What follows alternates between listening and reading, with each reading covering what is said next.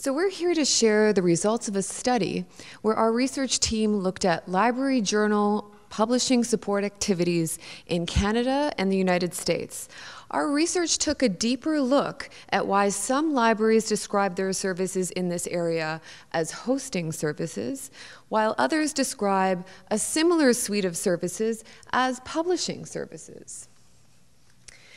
In asking these questions, we were touching on broader questions of library identity, and we're seeking a nuanced view of how the library community sees the role of the library in the production of scholarship. With thanks to the Library Publishing Coalition for sharing with us a machine actionable version of the Library Publishing Directory, we compiled a sampling frame of US and Canadian libraries and engaging in journal publishing support activities we gathered a critical case sample of US and Canadian institutions, ensuring representation from libraries who identified as hosts and libraries who identified as publishers, and conducted eight semi structured interviews. To glean a better understanding of the extent to which the views surfaced through the interviews were held by the broader library community, we compiled what we learned from those conversations into a survey. This survey was circulated to the institutions represented in our sampling frame. So Jacqueline will now share with us the results. Um, so here are a few of the things that we found. Uh, we found a lot of things. We collected a lot of data. Unsurprisingly, uh, it's complicated. We went in with a binary question and sort of threw that out the window pretty quickly. Um, probably not surprising to you that we heard a lot about there being a spectrum or a continuum of work.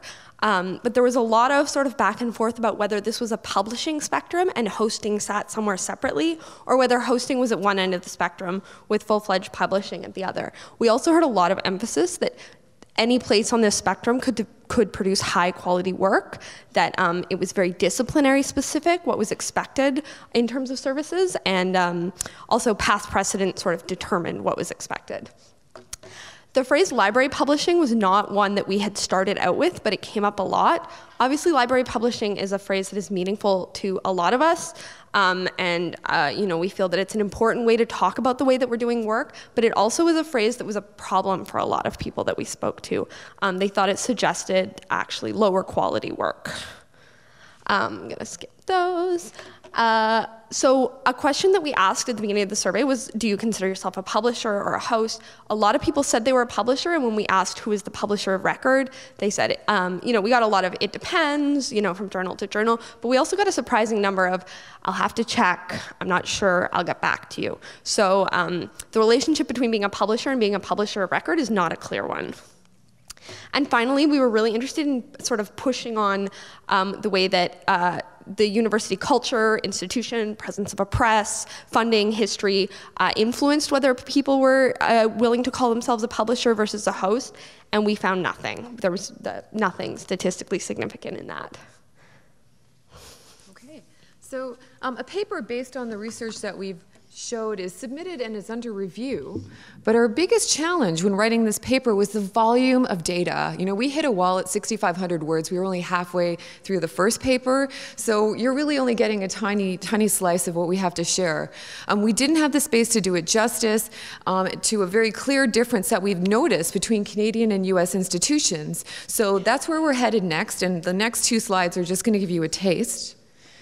So you know, looking at survey respondents um, between US and Canada, so you're not going to be able to see the metadata on these charts. Oh, and we're, we're out of time. One more chart, yes. One, one more chart? so I guess... There are I no guess, library publishers in Canada. Yeah. Jeanette's in the audience. She's also part of our research team. Woo! All right. Thanks. Yep. Thank you.